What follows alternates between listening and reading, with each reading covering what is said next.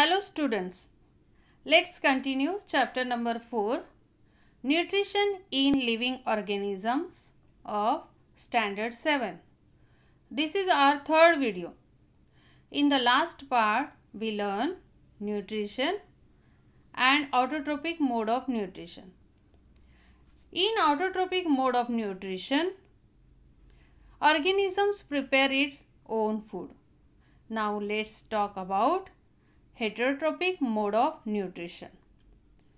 Plants which cannot produce their own food and so these are dependent on green plants or other organisms for their food. Such kind of nutrition is called heterotrophic mode of nutrition that are parasitic, saprophytic, symbiotic and insectivorous. Symbiotic nutrition.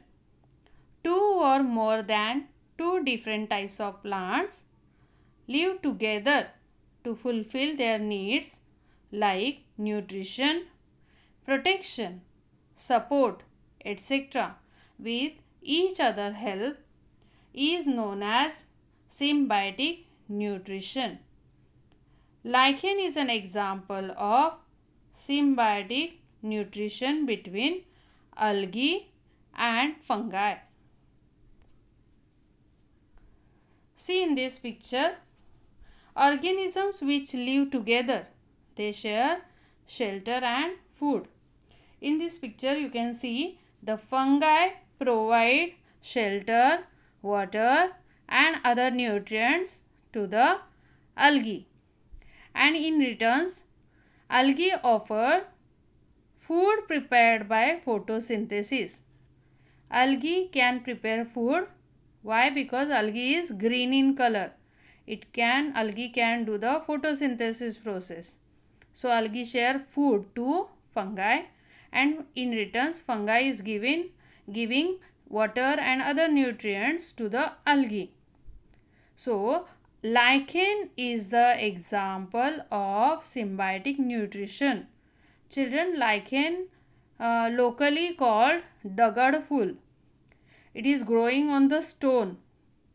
This is the mix or this is the example of symbiotic nutrition because it contains algae and fungi.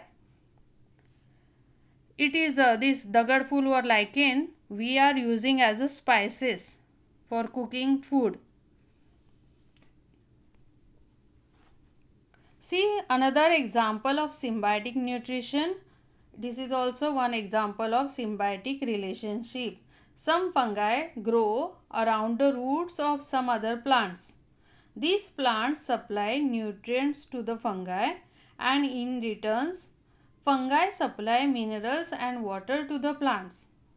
So this is also one example of symbiotic relationship. One more example we can see. Leguminous plants and rhizobium bacteria are living together. The leguminous plants such as peas, moong, beans, etc. The, these plants let bacteria live on its roots and also provide food to it. On the other hand, the rhizobium bacteria convert atmospheric nitrogen into nitrates, making it useful to the leguminous plants. In this way, both are benefiting from each other.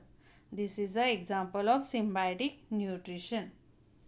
I hope everyone understood this symbiotic nutrition. Let's see the next topic parasitic nutrition. It is uh, some plants like cuscuta, locally called amarbel, grows over other plants and obtain nutrients from it. Such plants are called parasitic plants. And the plants on over which it grows or on which it grows is called host.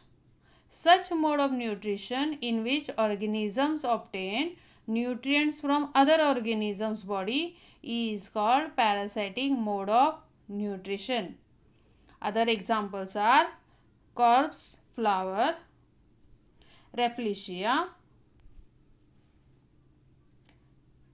In this, these plants do not contain chlorophyll. So, they can't do the photosynthesis.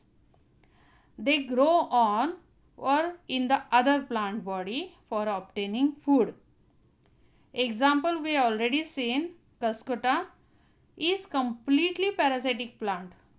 Cuscuta plant is like yellow wire like leafless plant growing on a big tree. That tree is called a host plant on which it grow and completely it is depend on the host plant because it absorbs nutrients, food from that host plant. So it is called parasitic plant. Next example is Loranthus. See the picture. Loranthus is partially parasitic. Leaves can prepare the food. Loranthus leaves can prepare the food. They are green in color.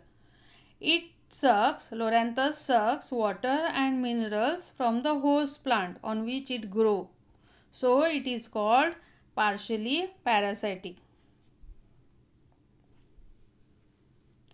Use your brain power children. Which part of the Loranthus plant carries out photosynthesis? Leaves of Loranthus plant carries out photosynthesis. Next question. From where do they obtain minerals and water? Think children we already discussed. Loranthus obtain the necessary minerals and water from the host plant or on which it grows. Why is Loranthus known as a partially parasitic plant? Loranthus takes shelter on the host tree. It sucks the water and minerals from the host, but it can photosynthesize and prepare its own food Therefore, it is called a par partially parasitic. We already discussed Loranthus leaves are green in color. They can do the photosynthesis. So, they are pre preparing their own food. But they are taking the shelter on the host plant and absorbing water and minerals from that host plant. That is why it is called a partially parasitic plant.